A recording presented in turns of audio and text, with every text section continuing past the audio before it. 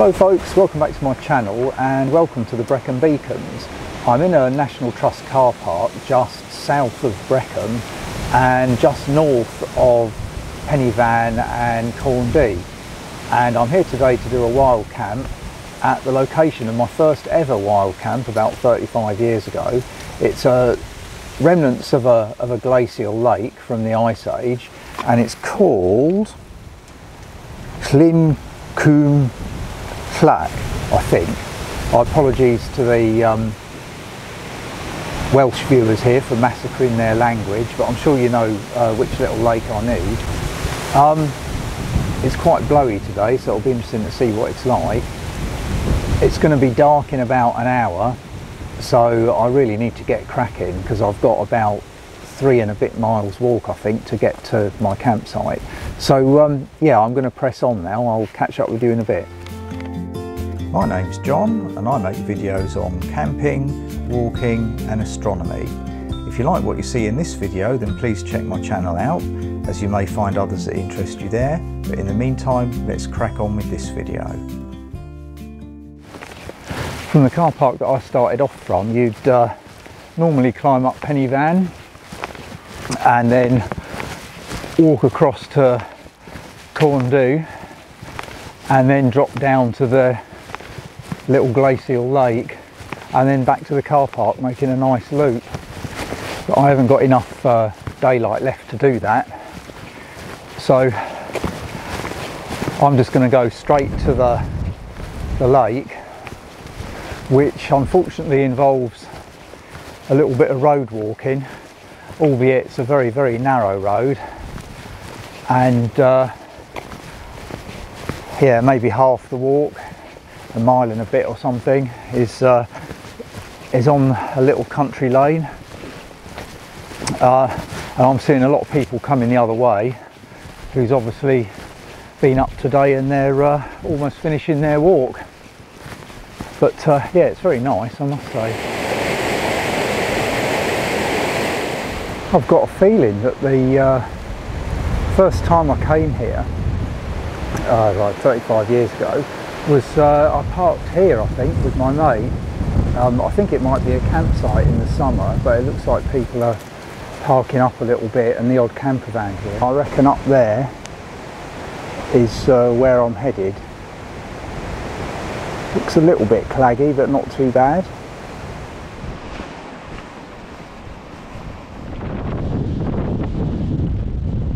So that's where I'm off to. Nearly there, I hope. I think that means I'm nearly here. Hopefully just over that little crest there and I'll be able to see the the lake. God, well thank goodness for that. I actually don't think I could have gone on much more. I could do with better fitness I think, but anyway there's the the lake so dead windy I'm gonna try and find a little flat spot get the tent pitched up before it gets dark. Uh, yeah.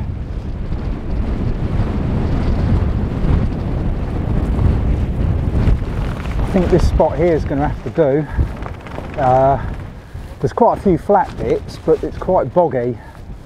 And there's somebody camped 100 metres or so behind me and there's some more people over there as well but yeah I'm going to get pitched up now before it gets too dark.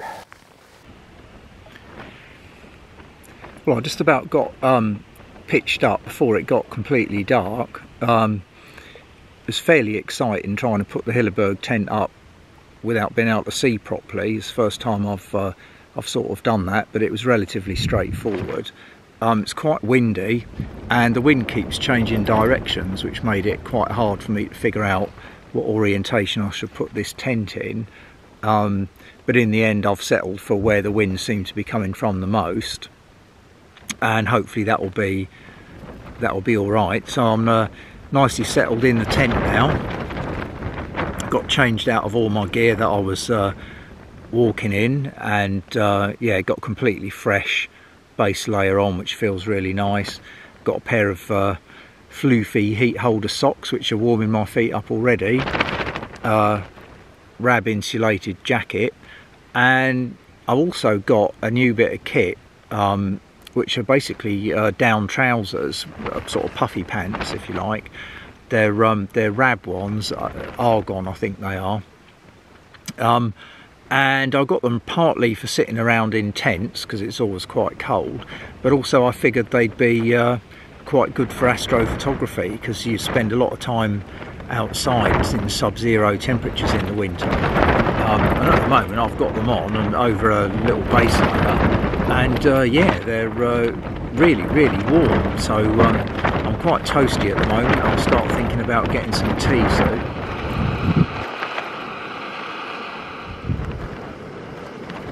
Well I'm looking forward to this. Spicy sausage pasta with a nice hot chocolate because it's getting a bit chilly now.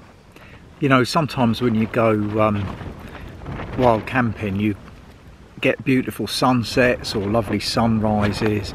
You get to sit outside your tent and um, enjoy a lovely evening. And I have had one or two of those this year but not very many. And this one this camp here is um, one of those where what you hope for doesn't necessarily transpire. The uh, weather forecast was such that it was supposed to be clear uh, up here today.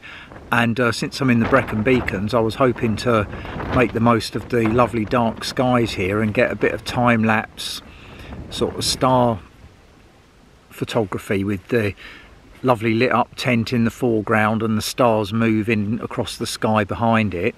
And of course it's cloudy uh, which is usually the way um, but nonetheless you know I, even though I'd say you know at least half the time I come out um, the conditions are fairly poor uh, I still really enjoy it the I really like kind of being inside the tent listening to the wind buffeting around you once you're satisfied that your tent's um, not going to collapse or leak. Um, I always feel quite safe when I've um, done the tent up. I'm, I'm, in my own little world, nice and comfortable.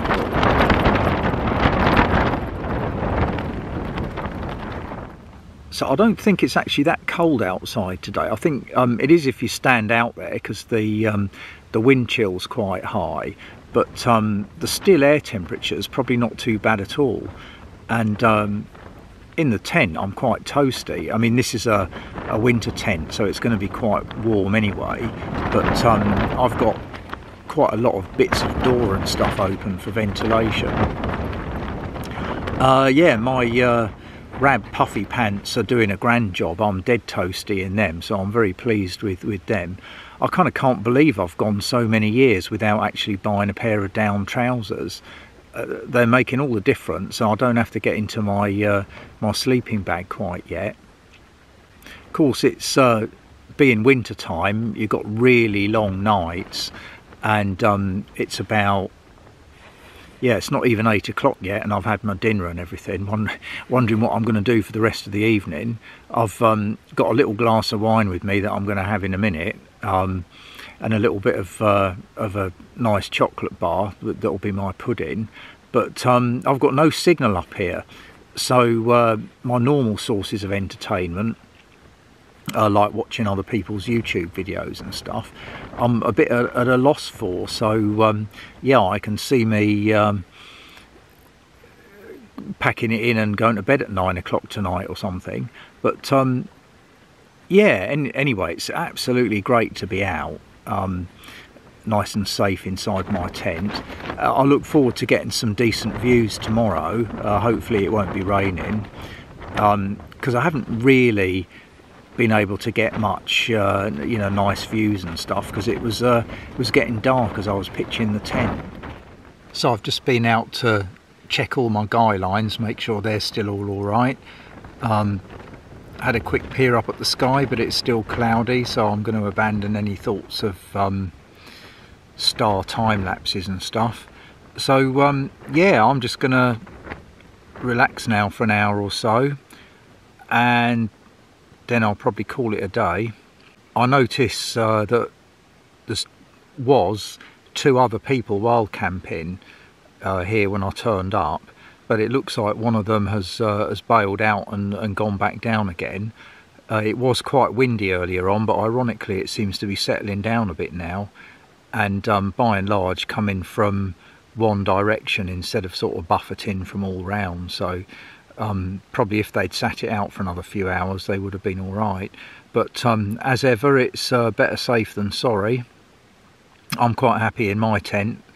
Um, it's intended to cope with high winds and things, so I think what's um, been going on today is nothing to to bother this tent at all.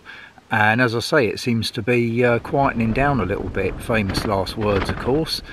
But um, yeah, so I'm going to largely call it a day, and I'll bring you back in the morning unless something disastrous happens.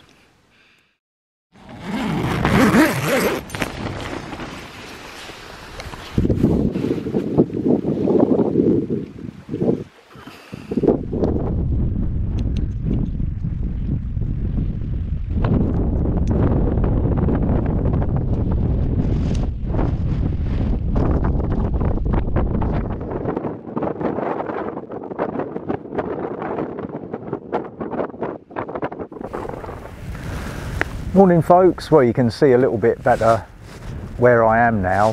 Um, it was a pretty windy night last night.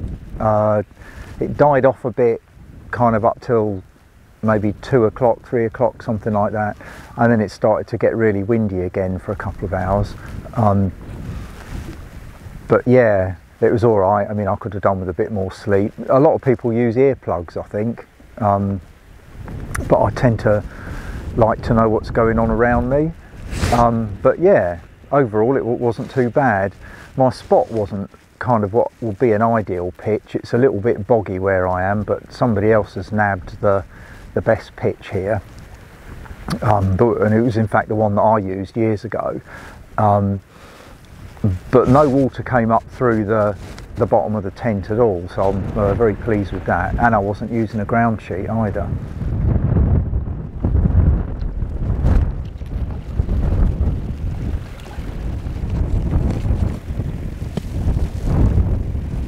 Right, that's it, all packed up. Uh, usual rules apply. Just a bit of flattened grass left, that's all to show I was ever here. And uh, yeah, time to crack on back to the car. Well, it looks like it's a beautiful morning down there in the uh, in the valleys. I look forward to getting into a, a little bit of sun because it's a little bit chilly up here. But um, yeah, it's a absolutely cracking day. I um, a bit jealous of anybody who's uh, going up Pen y Fan today, there's a couple of little ants that I can see who have made a dead early start. It's only about eight o'clock now. Um, so uh, yeah, they're obviously trying to get up there before the crowds. But um, yeah, what a day to be out. One thing that uh, struck me this morning when I took the tent down was that I had absolutely no condensation in the tent at all, both on the inner or the outer uh, which is really weird. Um, maybe it was just too windy. Perhaps that was drying it off before it had the chance to sort of settle. But uh, yeah, that was a pleasant surprise to be able to put the tent away bone dry. Um, I was on, you know, boggy ground as well, which usually doesn't help with the condensation issue, particularly if you're not using a, a, a separate ground sheet. But yeah, so overall I was very pleased with that. And uh, practicing putting the Hilleberg up in the dark, which uh, at least it's an easy tent to put up, so that wasn't too difficult. And uh, it stood up. There was quite a lot of buffeting going on last night, but uh, it stood up to it really well. So uh, overall, I'm dead chuffed with that. I didn't feel remotely concerned uh, at any time. I noticed the uh, other guy who was camped there in a bright red tent. I think his tent was a a Berghaus tent. I saw him getting his breakfast this morning as I was packing up and leaving. So uh, he obviously survived the night okay as well. So that's all good. And probably that tent that abandoned it yesterday that I saw pitching up and then they disappeared. Initially I thought maybe it was a mistake for them to go because it perked up a bit for a few hours but um, given the buffeting of the wind in the early hours of the morning maybe that was the right thing for them to do after all even though it meant coming down in the dark but yeah nice uh, thing to come back and remember my first ever wild camp uh, after all these years. Hello sheepy. Yeah, it's alright. Well that's it, I'm back at the car now. It's um, just gone half past nine so it's not too bad. Uh, I'm absolutely starving now. I just had a couple of like breakfast brunch bars for breakfast and that was it. So um, I'm going to try and see if I can find myself a cooked breakfast now. So on that cheery note, I'll thank you very much for watching. I hope you've enjoyed the uh, following me on the trip and I'll see you next time. Take care. Cheerio.